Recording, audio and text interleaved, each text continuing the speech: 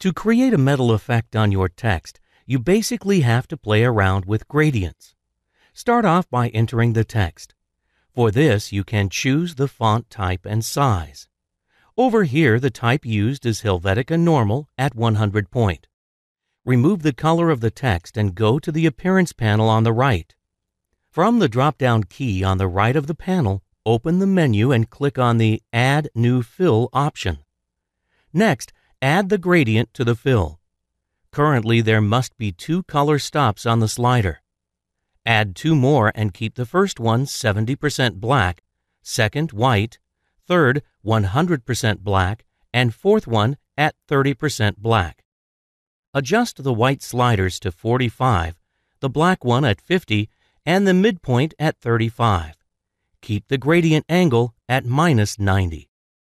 Add another fill and insert a new gradient into it. Delete two of the sliders from it by dragging them downwards. Leave two of them and fill in the right one with 100% black and the left one with 32% black.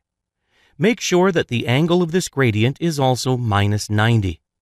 Offset the gradient to 1px by going to the Effect menu, moving over to Path, and clicking on the Offset Path option. For the next step, duplicate this fill by clicking on the Duplicate Selected Item button. Click its offset effect to open the settings and change the offset to 2px. Change the gradient by changing its fills. Fill in the left gradient slider with 10% black and the right one with 60% black. The effect on the text is now ready. To provide it with a background, create a rectangle the size of the page which in this case is 800px by 600px, and change its color to black. Align it with the page and send it backwards by right-clicking on it, going to Arrange, and clicking the Send to Back option. You can zoom in to view your text more clearly.